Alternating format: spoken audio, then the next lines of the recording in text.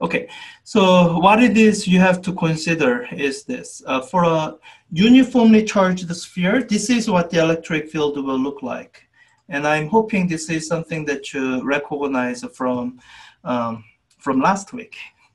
that uh, for a uniformly charged sphere, if you plot the magnitude of the electric field as a function of distance from the center of the sphere, then uh, from the um, from the radius of the sphere and out, that is easy. Uh, there's some electric field magnitude at that radius, and then it goes as 1 over r.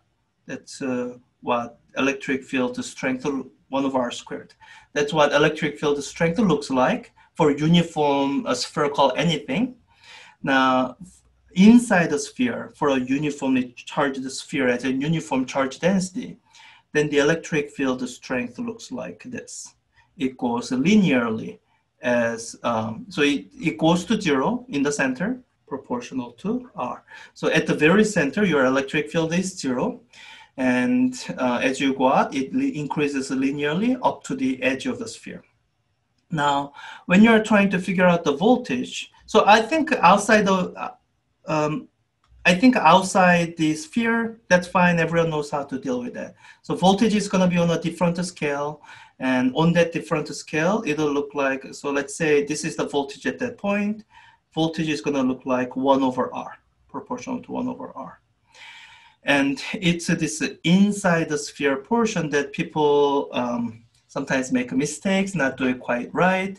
Sometimes you, you know, look at what the electric field lines look like, electric field looks like, and you want to kind of try want to uh, draw something that looks similar, and that's where you'll get it. People I've seen many people get it wrong. What you have to be careful and uh, be careful to do is apply the definition.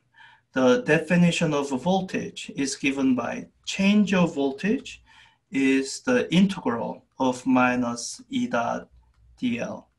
As you go from point A to B, the change of elect so the change of voltage is integral of this quantity from A to B.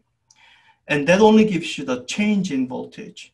So you have to think about it here. So as you are here, as you move inward, so your electric field is pointing outward. So if you're moving inward, then the dot product is negative, but I have this minus sign. So I'm accumulating positive changes as I go in. So as I go in from here, I should be moving positive word. In fact, the slope here will be the same as the slope here. That's what the continuity of electric field actually implies there. And when you complete the integral, you will see that it kind of looks like an inverted parabola, as it should be. You know, you are integrating a line.